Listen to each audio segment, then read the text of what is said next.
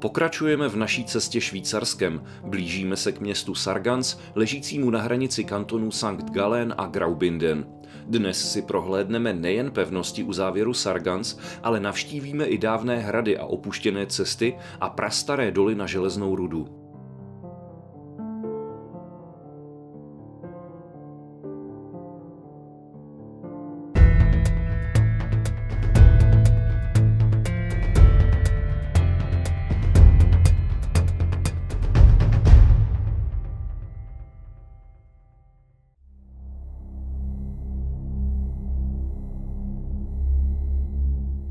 Sargans leží na břehu Rýna v nadmořské výšce 480 metrů nad mořem na křižovatce důležitých silnic. Nad městem se tyčí šlos Sargans. Je to jeden z nejznámějších hradů ve Švýcarsku. Původní hrad pochází ze 13. století. Opraven byl ve století 19. a dnes je v něm muzeum a restaurace. Patří mezi 37 nejnavštěvovanějších muzeí na světě. Švýcaři se u Sargans chtěli bránit už od pradávna, je to jedno ze strategických míst na východě země. Ze soukromého pozemku u Sonnenbergstraße je dokonalý panoramatický výhled. Údolím nalevo přichází do Sargans silnice a železniční trať od jezera Valenze a napravo od hory Gonzen vidíme ploché údolí řeky Rýna směrem k Bodamskému jezeru. Z obou stran sem mohl dorazit hypotetický nepřítel. Proto zde byly už před druhou světovou válkou vybudovány pevnostní uzávěry Sargans a Scholberg. Měli zabránit nepříteli, aby odtud mohl postupovat na jihozápad Švýcarska do srdce opevněné oblasti alpského reduitu. Pevnosti vydržely v činné službě i po celou studenou válku a zrušeny byly až počátkem 21. století. Z vyhlídky nad městem sjíždíme dolů podívat se na místo, které bylo donedávna civilistům zcela nepřístupné.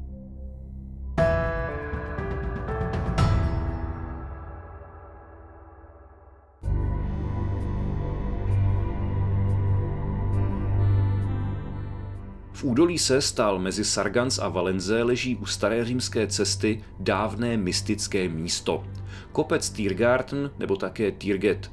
Kdysi se na něm konaly soudy a popravy a v dávných časech sloužil i jako místo pohanských obětí. Na začátku druhé světové války ho však zabrala armáda, protože z této 44 metrů vysoké vyvýšeniny bylo možno bránit strategickou příjezdovou cestu do Sargans. V kopci vykopali velitelské stanoviště a mnohá podzemní zařízení. Odtajněny byly jen před několika lety a dnes mají převážně civilní využití. Původně dobře zamaskované vstupy skrývají podzemní sály dlouhé až 60 metrů. Zelený domek byl ještě nedávno využitý armádou jako skladiště pohodných hmot. Hned vedle něj je kaverna SG-328, ve které je dnes občasná prodejna síra z horských pastvin – Sír zde v podzemních skladech i dozrává. Na jeho východní straně kopce jsou dva vstupy do bývalých muničních skladů. Ty se dnes využívají jako sklad materiálu karnevalového klubu. Jsme zpátky u Sargans. Vrtulník zdejší záchranné služby právě prolétává nad městem. V dáli za ním spatříme siluetu hradu Gutenberg a napravo skálu s dělovou pevností Cingl. My se odtud nakrátko přesuneme na druhý břeh Rýna, právě k hradu Gutenberg, do městečka Balcers v Lichtenštejnském knížectví.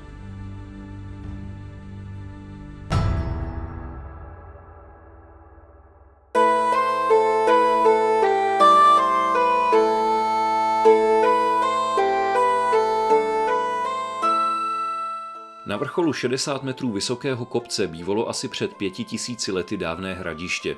Na jeho místě ve 12. století postavili hrad. Ten až do 18. století patřil Habsburkům, poté byl opuštěn a místními občany skoro rozebrán. Současná romantická podoba je vlastně až z roku 1905, kdy ho koupili Lichtensteinové a v podstatě ho znovu postavili. Burg Gutenberg je dnes soukromým majetkem, ale jeho část je turisticky přístupná. Z hradu ovšem máme ideální výhled na další cíle naší cesty. Přímo nad Sargans se tyčí majestátní hora Gonzen, skrývající labirint chodeb železného dolu. Hned vedle je menší hora Scholberg s viditelným kamenolomem, neviditelnými podzemními kavernami k těžbě vápence a skrytou podzemní pevností. Ze stejného místa dohlédneme i k donedávna utajované vojenské štole Wolfsloch, tam někde v lesích za horou Scholberg. Hora Gonzen dosahuje výšky 1830 metrů nad mořem. Už v době železné, asi 200 let před naším letopočtem, zde železnou rudu dobývali Keltové, Helvéti a Rétové. Ve 20. století byl v hoře otevřen moderní důl. Do roku 1966 bylo odtud vytěženo skoro 3 miliony tun železné rudy. Dnes se tu zastavíme na kávu v podzemní restauraci Bergwerk, která byla otevřena v roce 2005 v nově vykopaných kavernách poblíž původního vchodu do dolu. V unikátní podzemní restauraci je i malé muzeum o historii těžby. Také se zde dají domluvit prohlídky turisticky zpřístupněných částí dolu. Obvykle prohlídky trvají 3 nebo 6 hodin, ale je možno absolvovat i neuvěřitelnou dvoudenní cestu podzemím, labirintem štol, jejichž délka přesahuje 90 kilometrů. Důl se však dočkal i vojenského využití, o kterém si povíme už za chvíli.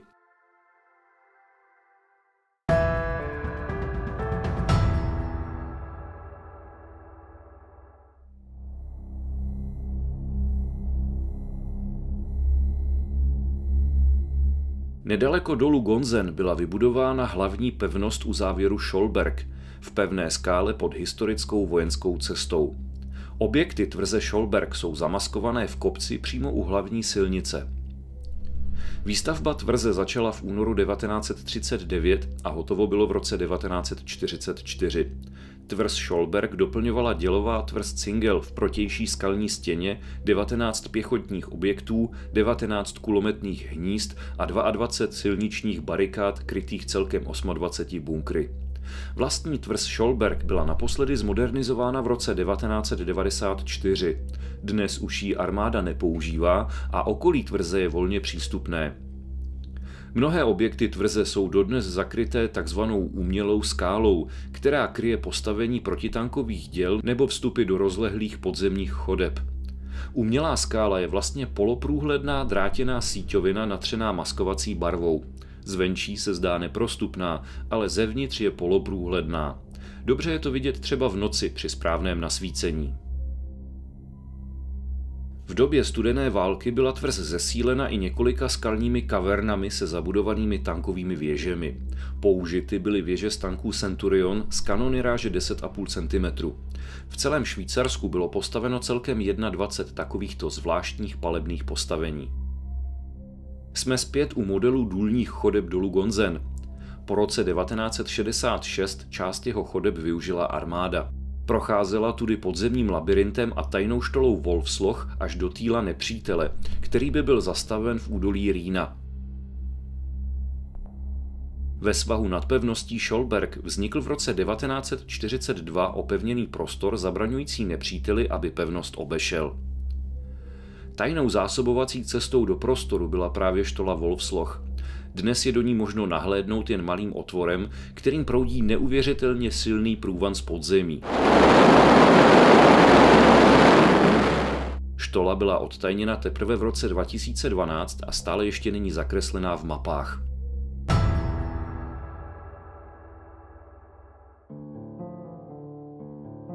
Přímo nad vchodem pevnosti Scholberg prochází Alte Scholberg Straße. Více než 500 let stará Scholbergstraße je první švýcarská národní silnice, tedy první silnice, o které rozhodl švýcarský federální sněm v roce 1490. Dostavěna byla v roce 1492. Jednalo se o vyvýšenou cestu, kterou se dalo obejít tehdy velmi často zaplavené údolí Rýna. Sloužila jako důležitá obchodní a vojenská cesta po víc než 300 let. Zboží a materiál tudy převážely muly. Historicky významnou cestu ale přerušil v roce 1904 kamenolom Scholberg. Její další nepoužívané úseky se už neudržovaly a časem se nad pevností Scholberg zhroutila docela. Rekonstruovat se začala teprve před několika lety. Jsou z ní vynikající výhledy na celé údolí. Po nové vysuté lávce pokračujeme směrem k lomu. Cestou jsou patrné i další bojové objekty tvrze i různá podzemní skladiště. V roce 2013 byl odtěžený úsek původní cesty nahrazený nově vykopaným tunelem. Tunel dlouhý 170 metrů slouží dnes jak pěším, tak i cyklistům. Ale k jeho otevření málem ani nedošlo, během ražby totiž vznikly nepředvídatelné problémy. Poruchy ve skále způsobovaly závaly a nad nimi se tvořily vysoké nestabilní kaverny, které musely být složitě injektovány a spevňovány betonem a přesto se stále řítily. Nakonec se však tunel dokončit podařilo. V kamenolomu Scholberg dnes nadále probíhá těžba, ale nikoliv na povrchu, ale v podzemí. Od roku 1986 zde vzniká systém obrovských podzemních kaveren vysokých až 18 metrů. Dnes je zde největší podzemní vápencový lom Švýcarska, ze kterého se pomocí nákladních aut a dopravníkových pásů vytěží ročně víc než 50 tisíc kubických metrů horniny. Člověk se při těch číslech neubrání zamyšlení, že kdyby ti Švýcaři přehnali, jednoho dne by se ozvalo zlověstné dunění a celá hora by zmizela v oblaku vápencového prachu.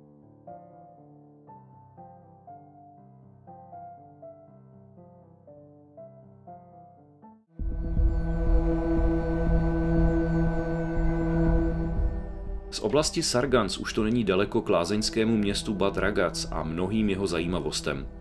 To si ale necháme až na příště.